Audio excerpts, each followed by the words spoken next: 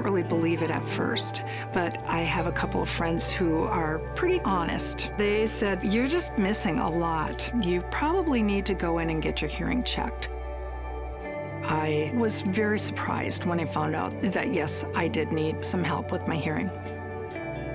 I ended up with the made for iPhone hearing aids. The main change for me is hearing so much clearer. It's so important in those moments when you're tuning or you're playing something really beautiful and quiet.